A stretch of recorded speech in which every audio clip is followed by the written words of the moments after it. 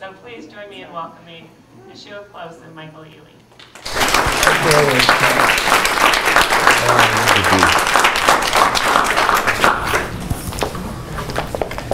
Good evening. Hello. Start with the disclaimer that I am not an art journalist. What's up, man? What's going on, brother? Um, It's good to see you. it's really good to see you. Um, from the moment we met, I never anticipated doing something like this. So, Right. you know, um, let's see. Let's see where it goes. let's see where it goes. Um, one of the things, uh, just to kind of break the ice and, and, and get into like this, the origin story is like, if you woke up tomorrow and you didn't feel like doing any work, what would you do? Like if you're like, I'm not doing any work today, so this is what I'm gonna go do. What what would you go do? I'm sleeping. Sleep. Um, I love that question though, um, because I think that with people who are so into what they do on a daily basis, in, in, my, in my case, obviously that's creating, it's very hard to imagine an alternative scenario where I wouldn't be in position to create. Um, and in fact, I do try to sleep sometimes, but I end up waking up and um, engaging my creativity. If not actively, then sometimes it's through research or um, through you know sort of curiosities. It could be just light, lightweight sketching ideas or note making. Um, so I'm sorry to sound like that's all I do, but there are there are weekends where that's my break. Is kind of like uh, poking at at work and not sort of 100% committing to accepting that I'm working that day, if that makes sense. Yeah, yeah. If anybody's ever, I, I've been blessed to do like a studio visit with Yashua, and when you do a studio visit, you you understand immediately how labor intensive the work. What's up, dude? You understand how um, labor intensive the work is um, that he's doing, and so like that's why that's why I wanted to ask the question because you know like if you were you know, I've broken bread together. You know what I mean? It's it's it's different, but it's like, you know, I've always wondered. I remember asking, I remember asking my wife. I was like, I wonder if he just like goes out and shoots hoop every now and again. You know what I mean? Like, would you, you know, what would you do to just kind of clear your mind, or do you, like, in the sense of like writers getting like writer's block as an as an artist of your your caliber? Do you ever get stuck and need? What would you do to kind of break that? Uh, besides sleep. I don't get I don't get uh, creative blocks, but Okay. um,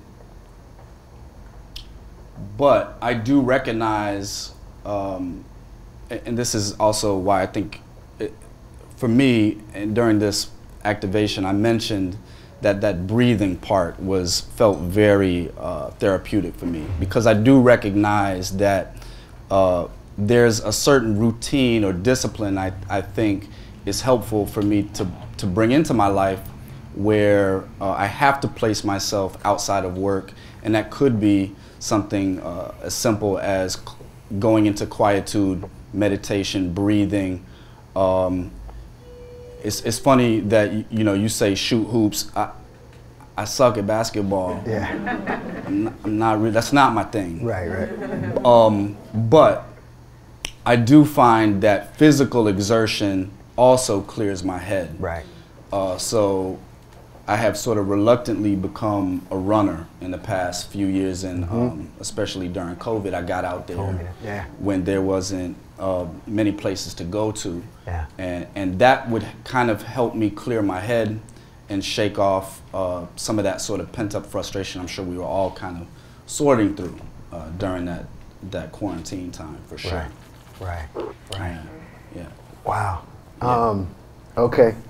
Um, I gotta ask you the same thing now, right? what's that? I mean, we here. You know, like you guys got to understand, we know each other, so we're. This is.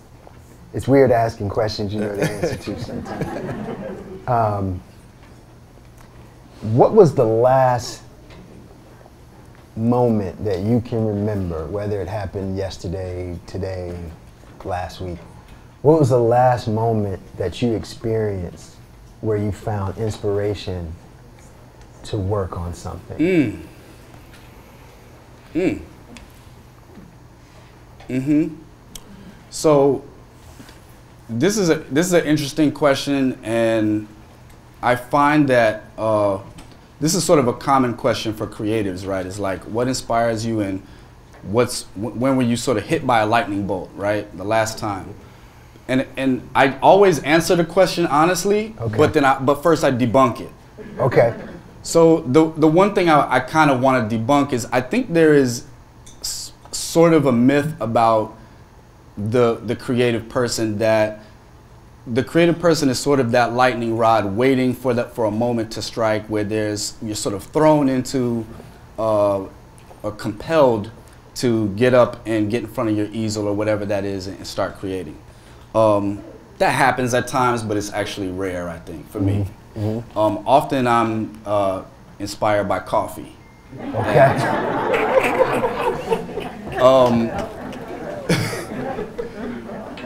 and I, I say that because you know I come from a from a very working class background, a working class attitude about uh, the studio practice, um, where whether I feel it or not, I put myself in the in the seat uh, in order to generate some momentum and be open towards that lightning bolt should it occur.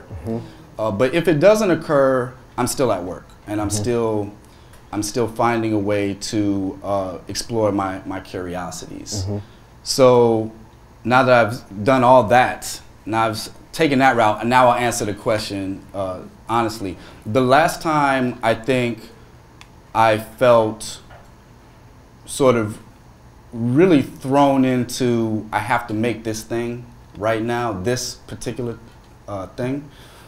Um, that was a, a text-based piece. It was my first text-based piece that I've made, uh, and I, I got, I got the sense that I had been sort of repressing wanting to engage in press uh, text-based work for a while. There are so many brilliant text-based artists uh, in that space, and I think I was avoiding. Actually, that's it right there. Um, I think I was avoiding dealing with that, contending with that history that was already um, behind me.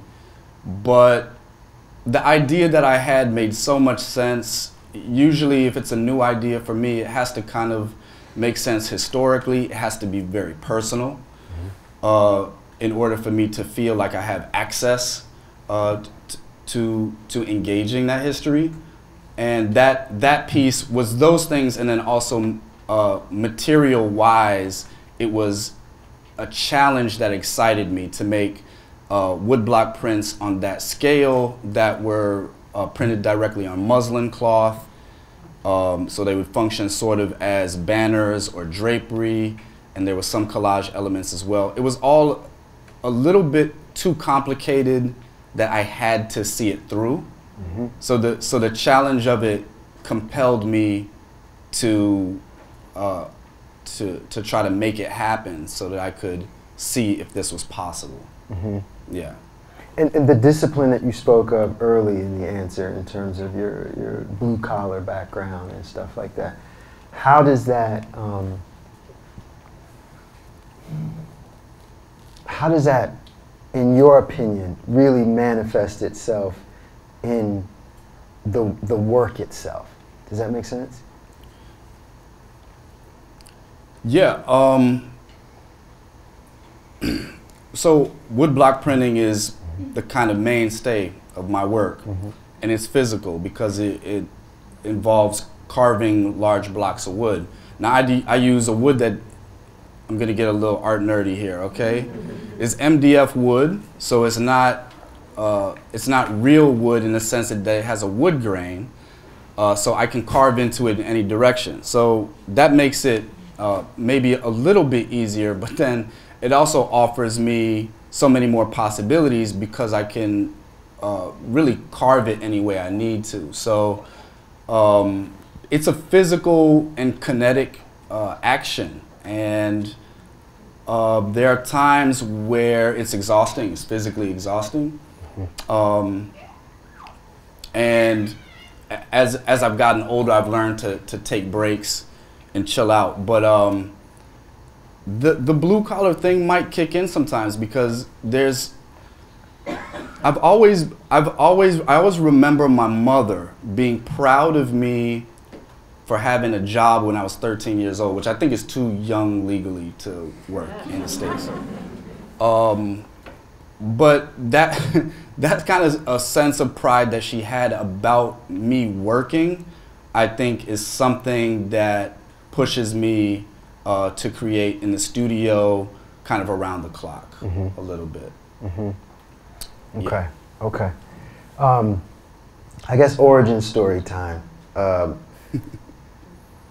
we met, and we were just catching up about that. Uh, we met through uh, an art advisor out of New York, Cheryl, and uh, Mhm. she introduced uh, me to your to your work. My wife had already seen your work, and I remember Yep. getting upset with my wife because she hadn't showed it to me, which I didn't understand. So uh, the first thing that I remember feeling when I saw your work was, and I don't know if we ever talked about this, but it just, I don't see anyone else doing it. I don't think you're being copied in any way. and I just feel like you definitely stand out. Your work is very unique. Um, it, it speaks to all kinds of issues of, of masculinity, which um, I think we're kind of at a, an interesting time in trying to define what that is right now. Um, so, what do you think? What was, here's a better question. Were you ever just doing like portraits and figurative stuff prior to this beautiful work that is being showcased up here? What were you like just doing straight portraits before ever? Oh yeah, and again, um, this, my trajectory as an artist, I, I like to use the word stumbling forward because I'm from uh, this working class background. Um, I didn't have creatives in the family directly, and I didn't know from the outset what it would mean to be a professional artist, or even if that was a possibility. That didn't seem to be something on the radar. So I began like uh, I think a lot of kids in that in that situation. I was drawing. My, my first love was drawing. I would copy comic books, um, and my arrival at the techniques I'm using now, woodblock printing primarily, and then of course collage, came through drawing. For me, woodblock printing seemed like another way to do a drawn line. It was more committed because I was carving that line out of wood. There was no erasing it. Um, but it seemed like a natural translation of the kind of like muscle memory I was already doing. I had built so many years doing uh, as a drawer. I had tried my hand at painting for a while, but um, the paintings looked good, but I didn't enjoy the process. Um, and, and I did get some attention for the paintings and a lot of encouragement to Mhm. continue with them. Um, but I didn't enjoy the process because I the, the technique I was using didn't allow me to, to discover along the way. I had sort of predetermined an image, and I was it was just a matter of time before arriving at the image. So woodblock printing allowed me, uh, the way that I'm using it allowed me a lot more sort of experimentation and flexibility. And to your point, I was trying to discover something that I felt um, ownership of and that I hadn't seen before. Uh, that for me was the, the biggest challenge. Finding a way to make images that reminded me of things I had seen in history, but was adding on to, hopefully, hmm uh, without repeating. hmm It, it, it, it always strikes me, you know, whenever I see your work, just like I said, how original it is, how you're running your own Mm. race. Mm. Um, sometimes I think in the art world you see, especially as a collector, you see people who are, are very, very similar in, in certain ways. And, and um, that is not the case with you. Um, what, what do you think, like, will you potentially change direction anytime soon? I think I've, I know I asked you this before. Yeah, actually. yeah, I asked yeah. you this last year. I think I asked you. Do you remember what I said? I don't. I don't either. I don't either. So, uh, man, my answer for this is too easy. It's no. There you go. Yeah. Well, so when I did uh, my thesis show, when I graduated Hunter College, I, it was my first woodblock print based collage making I had done, and I remember hanging it up in my in the in my thesis room that I was assigned, and the other MFA students looked at the work, they admired it for the most part, and then they would say to me, "Okay, now that you did that, now what's next?" And I thought, this is a whole alphabet in front of me, right? I felt like I had broken into a new language that I could see myself mining for years. Um, so, what I didn't expect though is that I'd still be here today mining this language, and it's easy for me to say, uh, no, I don't think I'll, I'll stop it because it, it does feel to me like every, every piece that I make encourages the next one. I'm sort of left with new questions after I complete a piece, and those questions compel me to, to chase them down in the next one. hmm Uh, so I'm very grateful for that. I mean, it feels as though there's sort of uh, a constantly evolving conversation that I'm getting to have with uh, all of the kind of work that I've always loved my whole life, with all of the artists' work who I admire, and then finding ways to also challenge myself and, and, and my own skills and interests. And I feel, I feel very lucky Mhm. that that's the case. And when you ask the question about having uh, creative blocks, um, I, I just feel so grateful that that, if anything, I almost feel like I don't have enough time, Mm. you know, to, to get into all the work that I want to. Right. Yeah. Right. I mean, keep mining, brother. That's that's that's for real. Like I, I don't want you to change. I, again, I think it's it's all there. Um, over time and, and, and prior to um, social media, um, a lot of artists uh, across all platforms um, tend to be somewhat um, influenced by politics. Do you ever find that politics of where we are today influence what you're doing um, in the studio? Yeah, that's that's great. Um, and it's interesting to me that question after we just did this activation, right? Mhm. Because the activation is, of course, it's it's the the work that I've done that is most connected to contemporary concerns. You know, the name Eric Garner is uh, in that piece of work. Now I can't lay claim to making that. It's Ross Gay's poem, um, but that but the activation seemed necessary for the time, uh, for these times that we're in. And the first time that I activated that was in uh, 2020. So we're in the thick of the pandemic. This is after uh, the George Floyd murder, which I think for a lot of us brought brought it all to a head as well. Um, that has been the only work that has been sort of, I think, outright addressing contemporary uh, politics head on. Okay. in that way. Uh, but otherwise, of course, the work dealing with blackness, maleness, the intersection of those things, that is, of course, uh, inherently uh, political, right? And that's always been in the work. Um, the work is now evolving as I've had this life changing experience. I don't even know if we've discussed that part much, but uh, meeting my father's side of the family, yeah, getting yeah. back in touch with We'll them. get to that. Yeah, and that's that's also political, but um, my my concern is to always approach things from a personal lens. Okay.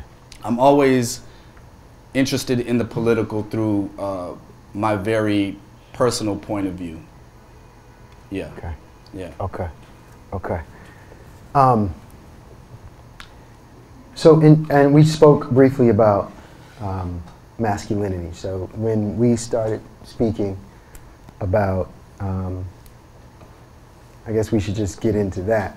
Uh, 2020 FaceTime. FaceTime. um, yeah. we you had a- you we saw the piece carefully. Yeah, yeah. I believe that, that that was in my studio at the time when Yes. we FaceTime, Yes. Right? Yes. And we we talked a lot about We that actually in depth about it. in depth. Yes. And uh, you and your wife were both on that at that call. I think she tapped out about an hour in. Yeah. And then we continued. Yeah, that's when I realized we was gonna be boys for a long Yeah, time. yeah. I, I never got tired. I never get tired of talking to you. We could just keep going, and we kept going. Then, we, then we reached an impasse about Kanye, and I was like, Right. all right, man, I gotta go. I gotta go, man. I gotta go. I can't. I can't. You know, you bring it. All right, man. But um, but yeah. So you know uh, that piece, um, which I'm sure is is coming It's up at some point um, was was a very powerful piece, um, and you know you there it is right It there, is. and it's a huh. It's the work in the show in up, upstairs, so you can see that that that work there. Um,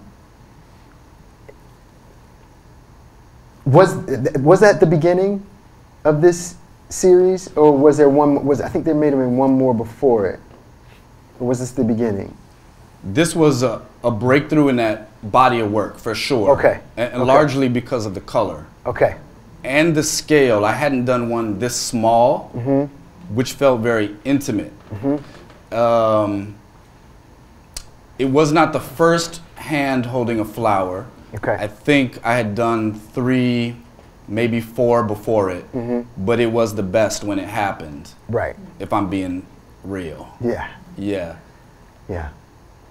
And I'm jealous that you had. I know you said you, you said you wish you hadn't Yeah. sold it to. me. No. I wouldn't say that, but it's just that, um, you know, I walked by it downstairs and, and I was like, wow, I missed that thing, you know, but um, I'm very glad that, that you and Khatira own that. Yeah, yeah, and you know, I, you I- I let the people see it. That's right. I let the people see it, right? That's right. That's very generous. It's missing from my house, so you know, For, for a while now. for a while, for a long, long run, unfortunately. But uh, we we spoke about that. I made a promise to you that you know we would do it that way. Well, you you back to that that FaceTime, you connected and Khatira, the both of you connected with that work in a very real way. Yeah, it, it was it was a powerful piece for me. At, at the time, my, my wife and I were in therapy, and I was learning so much about her traumatic childhood.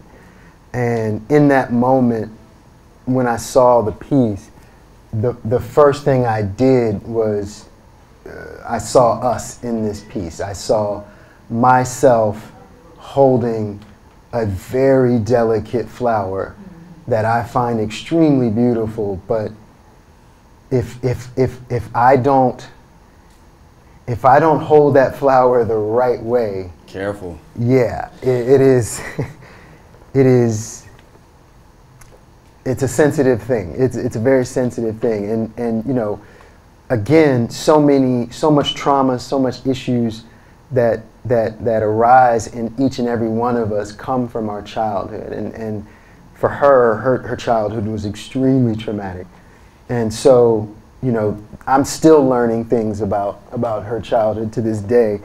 But I remember telling you specifically that this piece, you know, I was like, this is, this is the beauty and the frustration and the sensitivity mm-hmm. and Yeah. you know everything that represents m- my particular marriage and perhaps other marriages as well. But you, you understand that you know or relationships you understand that this was something that really meant the world to me.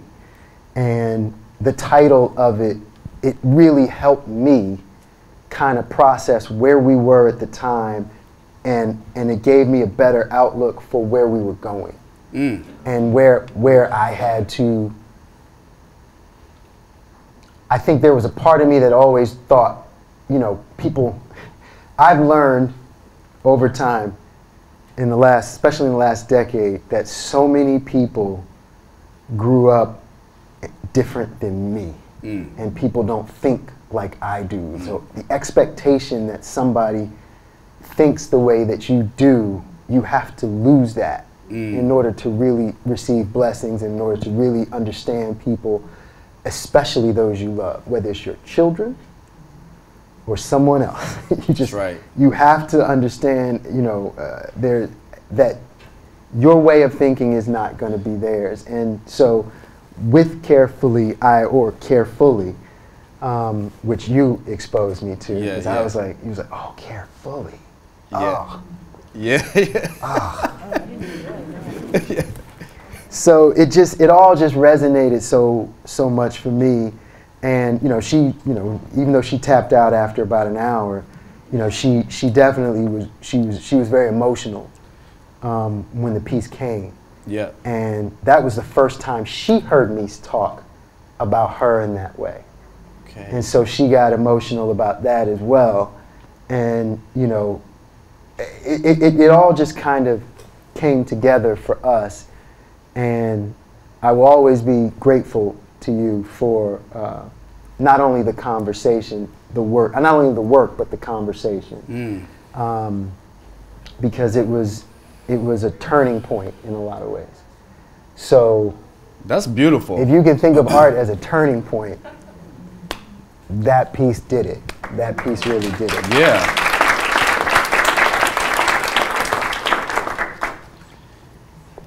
So you want to tell us about Yeah. carefully? That's that's beautiful. Um, yeah, and I think, Michael, a lot of what you're talking about is the way that we're challenged with unpacking our notions of masculinity sometimes in relationships where you're where you're forced to deconstruct some of the the toxicity right? And some of the things that we've carried over um, into a, into what one wants to be uh, a loving caring relationship. But um, it's beautiful to, to, to hear you describe it in that way as an effective tool for that. I often think about my works as affirmations uh, for myself, and they're often titled that way. They're, uh, affirmation is a reminder uh, that that you want to uh, implement and encourage to become more uh, natural, you know, Mhm. in your life. Uh, and and this piece was along those lines. It's sort of uh, I think a, a reminder for me. Um, on how to on the the the, the function of care and nurturing um, in my life. And i've been thinking about how can we start to challenge our ideas of masculinity and include nurturing and uh, being careful uh, in that like in the first line of the description of masculine. Can nurturing be there, right? Um, so this this was uh, as as much a piece for my own personal life uh, as it sounds like it's been for yours. So I'm very grateful for that. There, there's a, you know, the, the beauty don't have of to this clap piece. after that one. That's okay. That's okay. Michael had Mi- Michael said it right. the, the, the beauty of this piece is that, like I said, originally it was a, a turning point for me and my wife, but obviously, um, like in recent months, it's become somewhat um, of, a, of, a, of a piece that I've been looking at photos of Uh-huh. because of the relationship I have with my son right now. And so when you start talking about masculinity, and you met, you met him, Yeah. so, you know what I'm saying? It's adorable. Yeah, yeah. yeah. Um, and so, so um, you know, it's it's it still holds.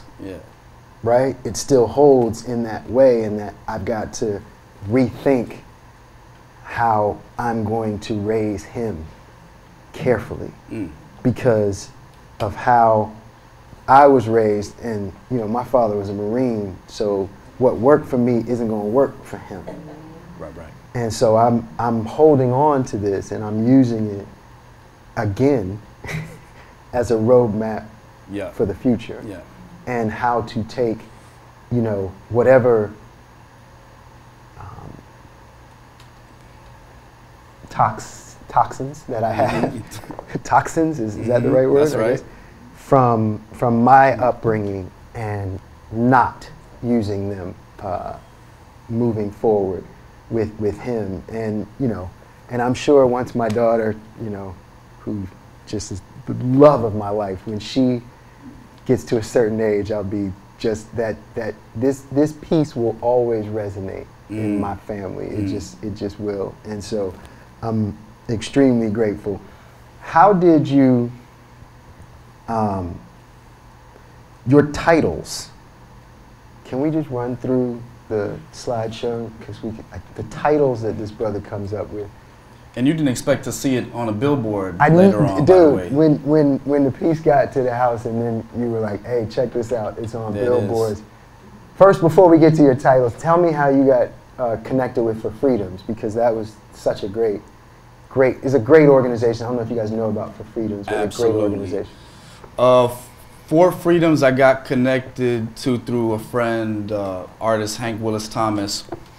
Um, as I started to uh, do work with the Wide Awakes, uh, the Wide Awakes uh, popped out during the pandemic uh, as a way to protest and also uh, have joy, right? Mhm. And uh, Hank Willis Thomas was kind of at the forefront of that. And then For Freedoms, which he established before Wide Awakes, but it sort of became um, closely associated. A lot of the same people were interacting. So Four, For Freedoms did an amazing project with all these bill, billboards across America, and invited me to uh, to share a piece. So uh, uh, I thought that that piece worked for the billboard along with uh, the text, which almost uh, became a sort of uh, call to arms. My brother, how carefully can you hold a flower? I think in some ways became a way of provoking the question even further, Mhm. which uh, w- which I found appropriate for for the uh, the platform of a billboard. It's a public uh, public place, right? Um, so yeah, we had to go there with it. So titles, diagram of open. Yeah, now that's tell, long. tell me about your titles because your Yeah. titles are always like just they're insane. I don't know how you come up with them. Like So- it's just So I'll say I'll say um, diagram of an open hand uh, and the law of attraction. For example, I do title a lot of the works, especially with hands, diagrams. Mhm. That's why I also connected to what you said about the idea of it as a roadmap, Mhm. right? The, the that the visual pe- the piece itself operates as a affirmation, as a roadmap, as a way of um, as a way of seeing, as a way of be- behaving, a way of thinking.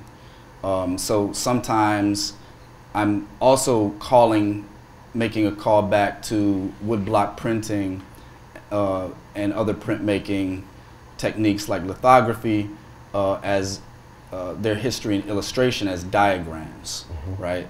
So that's kind of embedded in the, in the medium. and the use of this this particular blue. What, Mm. what I remember you told me what co- what color blue is this?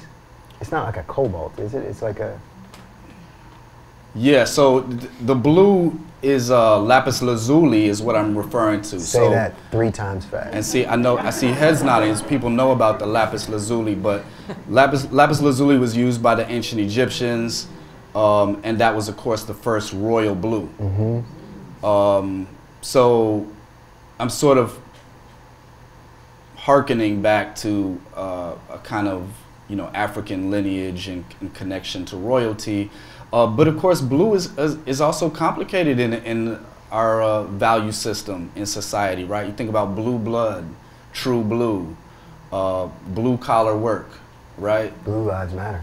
Okay, blue lives matter. So there's so there are so many ways of, you know, complicating the a value system uh, with that color blue, which I'm really intrigued about. And it's also just operates and and just uh, it vibrates that particular uh, ultramarine blue. It kind of vibrates. It sort of feels cool and warm at the same time. Um, so just just viscerally, there's something about it that I connected to initially. When I feel that way about a color or anything, aesthetically, I feel a connection. I kind of take the responsibility to like do the research and understand the history that got it there. Yeah. When you do, um, I don't know how you do you call them the heads. Heads. Yeah. the heads. Um, I don't know how many of you have seen those works. They're just phenomenal. There's a beautiful one in, in, in my house. Uh, It's a light flex. um, get you one if you can. Uh, get you one if you can. I mean, but, but those were the first ones that I saw. And I remember wanting to buy one of those first. And my wife was like, no. And I was like, why? This is, just tell me like where, where, where, where the inspiration for all of that work came from. Because those, those pieces always feel like a connection, not only with the future, but to the past. What, what are those about? The heads. Yeah, and let me say first, like I think that you're you're, you're such a astute like eye and collector to to but to to take the decision to um, get the piece uh, this piece the hand piece which it was not my sort of mainstay which is also exciting about this show elegies because a lot of the works in this show are uh, I was joking with with uh, the brilliant curator Monique Long about how it's these are like the B sides of a lot of uh, artists' practice, right?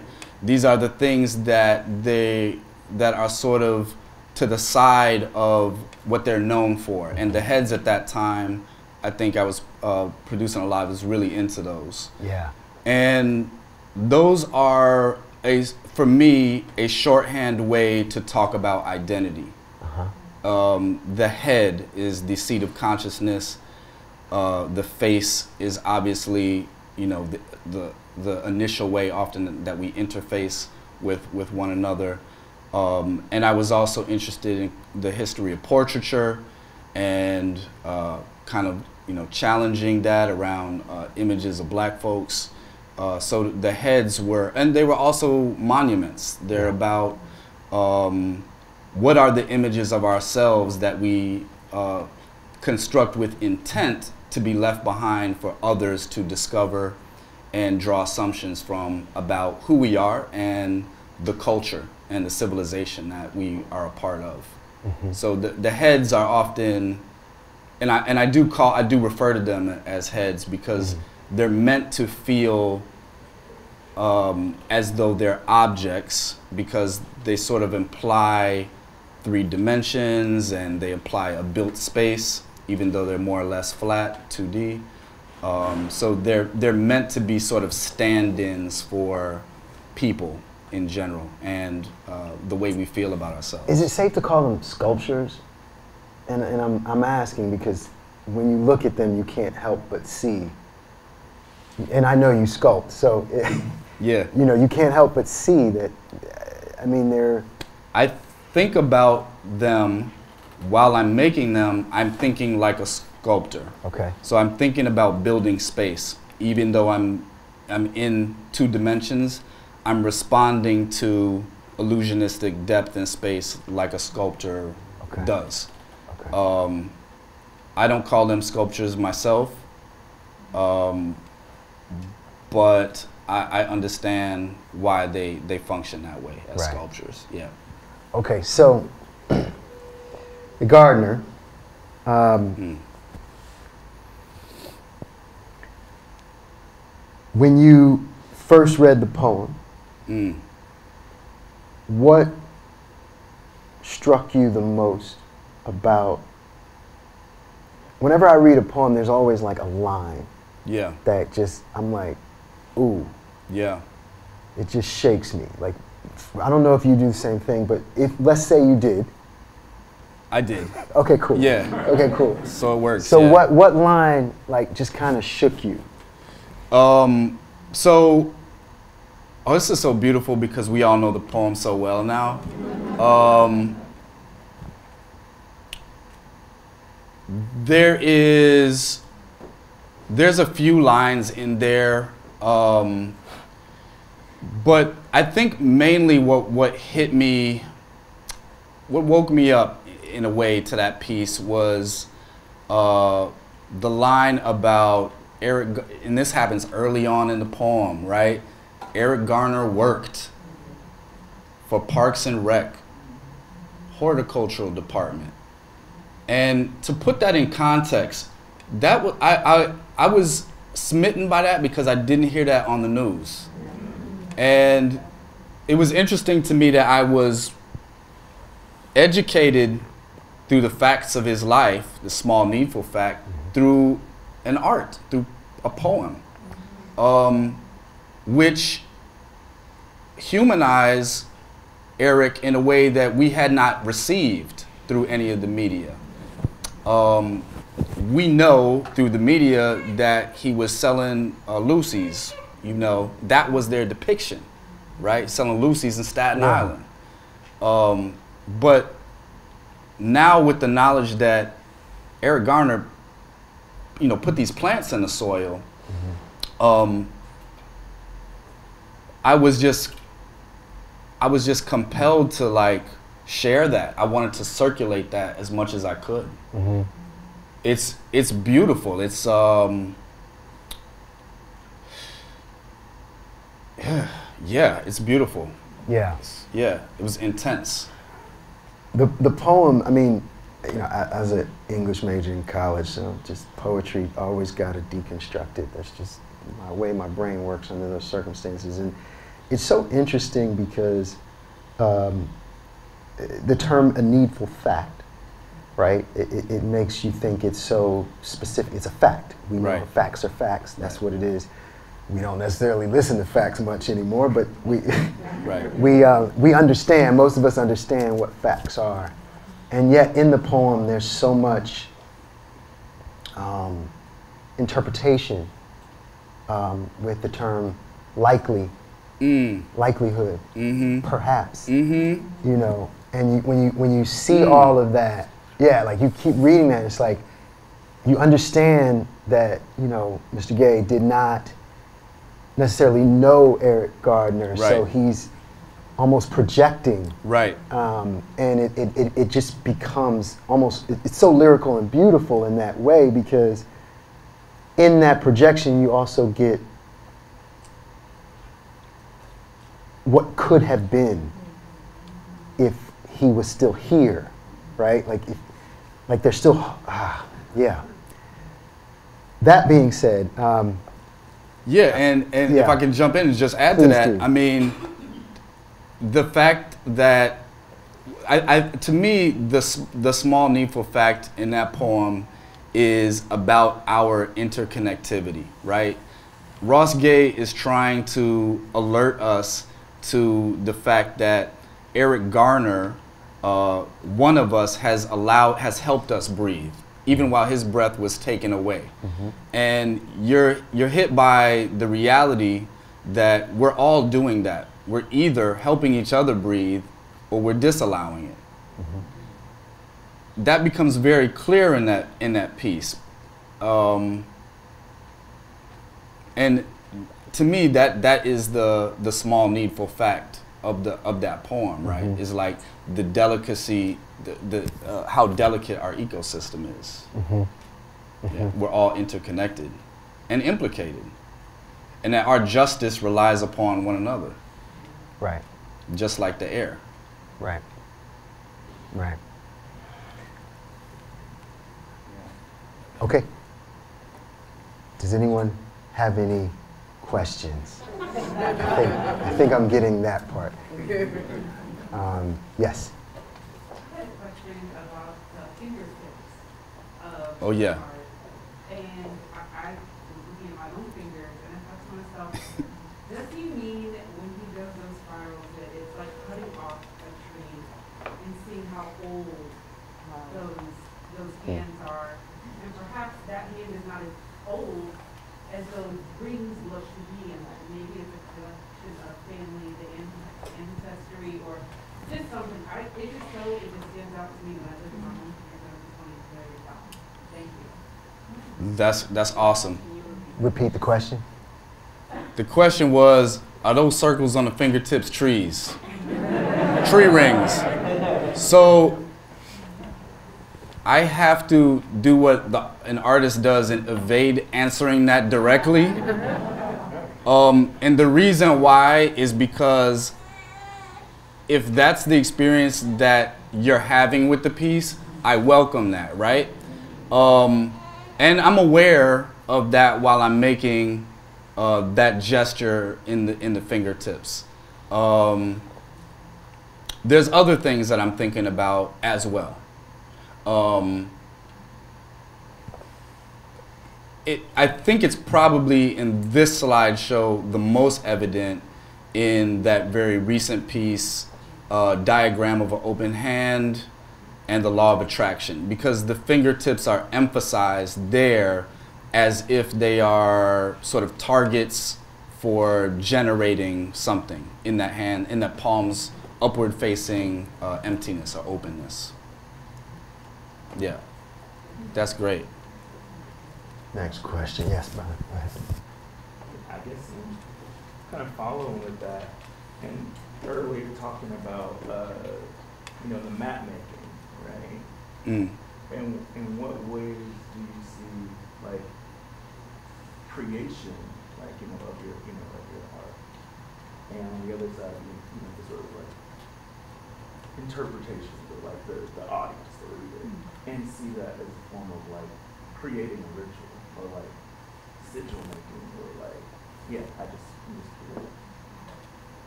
Should I repeat that? Okay, so I think the question was, uh, how, how am I seeing my practice as map making and uh, sort of creating ritual? right, creating ritual. Yeah. Um,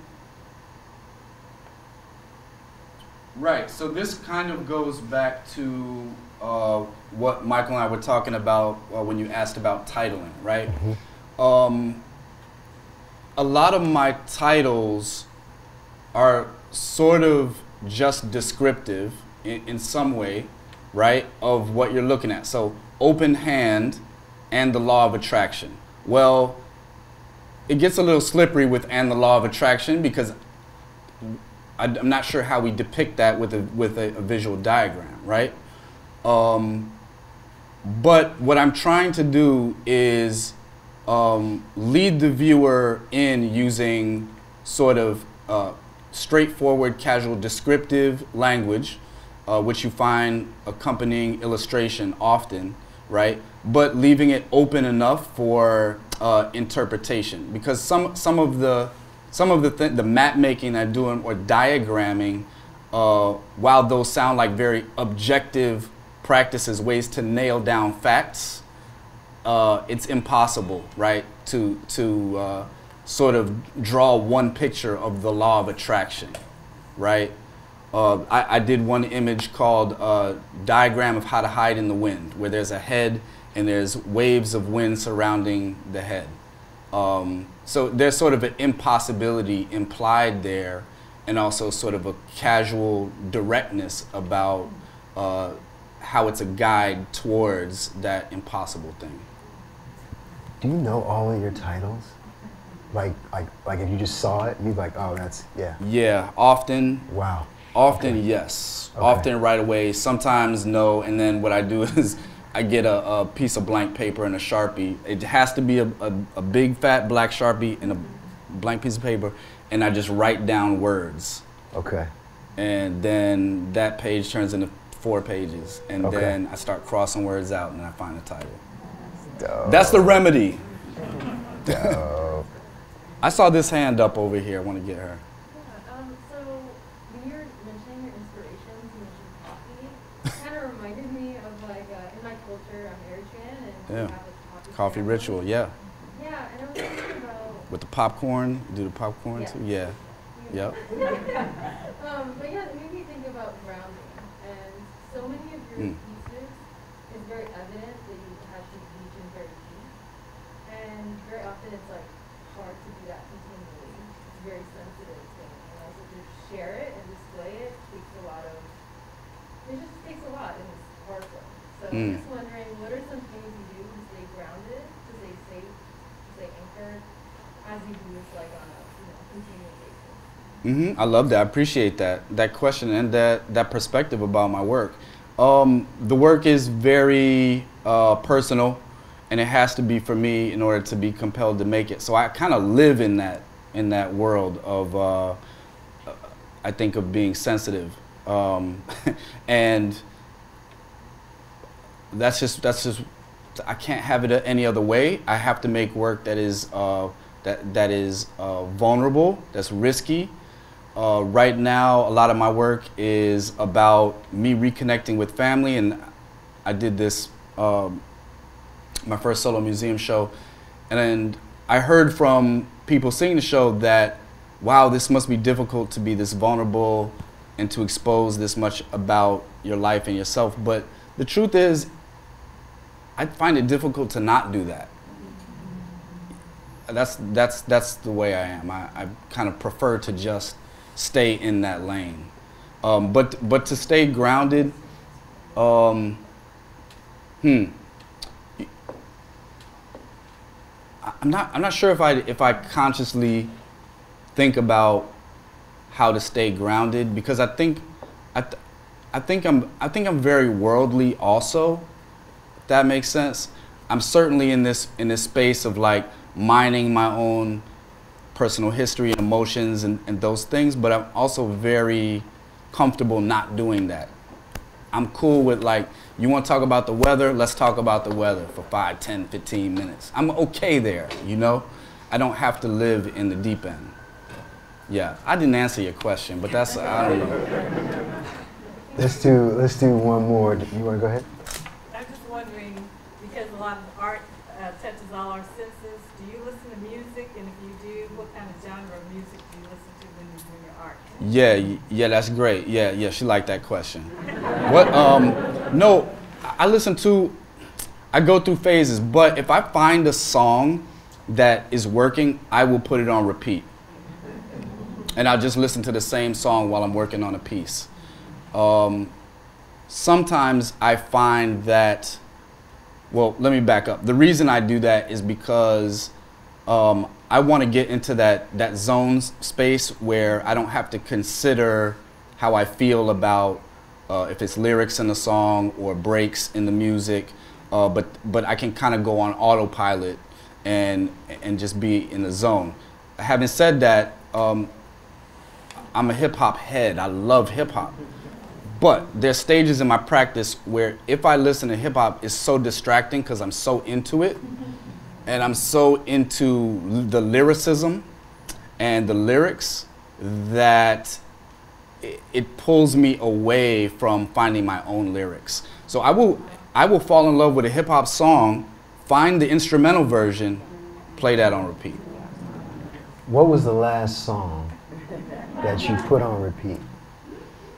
Yeah, it was the um it was um Lauryn Hill's song on that on the the latest song on the soundtrack. What's it called? on the soundtrack of So vague. nobody knows. I'm, this? I'm, I'm so wanting someone to help me out here, Googles. nobody has. yeah, the Queen and Slim, that song. Is it that song? She had it. That song is, I mean, it hits, and it's just a groove. Guardian of the Gates, guarding the gate, guarding the gate. I had that on repeat for two days. Two days. Okay. And after this discussion, I will put it back on. Put it back on. Thank you for the reminder. So let, let's let's wrap this up, I guess. In conclusion, um, what what is this is the the best question that people always come up with at the end of something. What's next? Yeah, what's next is um, the. Sh- I ju- just mentioned I did my first solo museum show, uh, Our Labor, which is uh, traveling to Sikkema Jenkins in the fall in New York, and um, doing a show in Luxembourg at Zidoun-Bossuyt in September, uh, and then I'm gonna chill out for a little bit, um, and I'm gonna kind of recharge the battery do some research and development, think about new things, and play that Lauryn Hill song on repeat. One more question. If there was anywhere else you could go in the world, and you feel like like you feel like it's calling you, what place would that be?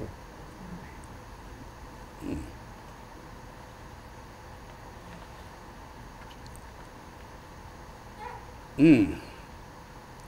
Okay. so that place is Detroit. Um, because is Detroit in here?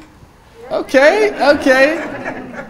Yeah, um, so I recently in reconnecting with my family that's in Detroit, um, I take any opportunity to get to get back there and visit them.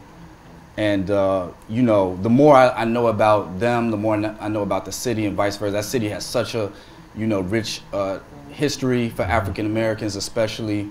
Um my family migrated from Memphis to Detroit for work in the auto industry, Yeah.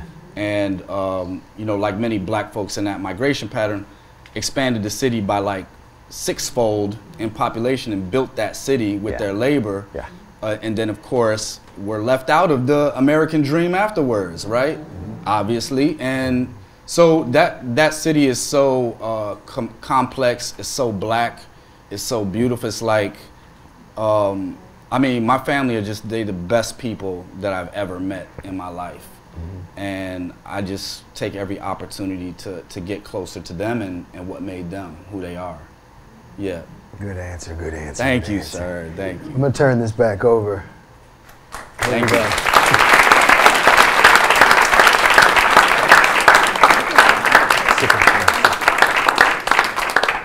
Are we still here? Okay. Just for a little bit. Okay. Uh, thank you all so much. This was so beautiful to witness. Just two friends having a really amazing conversation. Can we make some more? I'm from Harvey, so I don't know if you. Hey, hey. Chicago, you know, Harvey, Chicago. Yeah, yeah, yep. Um, South, south. Yes. Yeah. Right. Not, Yeah. not proper, but if you claim me out, if you have, if you have me. We take it. We take it. We are so fortunate to have such a beautiful community of MOAD members and lovers and supporters sitting here in this space. It's so beautiful to see all of these, all of y'all faces, even though we masked up. Um, and I know that you all really, really, really value um, this work, the work we're able to do to put these beautiful artists in conversations with each other, to keep these the wall, the, the walls filled with incredible art, and all of that is possible because of your support. Um, so we would like for you to, if you can, in any kind of capacity, uh, make sure that you can uh, make a donation. We have a box right outside of there. You can either put physical money in the box if y'all still carry cash, or there's a QR code that you can scan. And downstairs, our visitor experience um, folks can help you out so if you want to make a donation there. I was so quick to ask y'all for some money that I did not introduce myself. My name is Dayana. I'm a development associate here at MOAD, and we just hope that you all commit to supporting us so we keep these things going around here. Yes? Yes. yes. yes. Thank you, Diana. All right. Thank you both so much for an incredible conversation and incredible art. Thank you. And thank and you all. Can I say thank you one more time to everybody in that activation for helping out? Um, thank you so much. I can't thank you enough.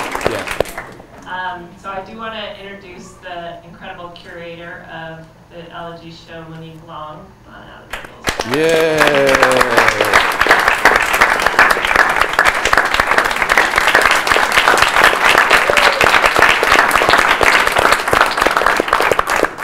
The show is so beautiful, and we're so grateful to have it here at MoAD. Um, it will be up through August 18th, and then it's traveling to Savannah, Georgia, to the Telfair Museum. So if you know people in the southeast area, please tell them to go to Savannah and um, check out the, the show there, so as many people can see as possible. Just as much. Unfortunately, Michael will not have that piece for See? several months longer. But you get to have it He has plenty of art. Yeah. Yeah, I think- rotate stuff. Yeah. Not, not that piece. Not that piece. Not that piece. Um, So thank you all for being here, and just a quick reminder about the survey QR code scan it with your phone. Pop, it'll pop up on your phone and you can take a little survey. It's super helpful for us. Thank you for coming to MoAD today, for enjoying um, the work that we do, and we hope to see you here again. Thank you. Uh,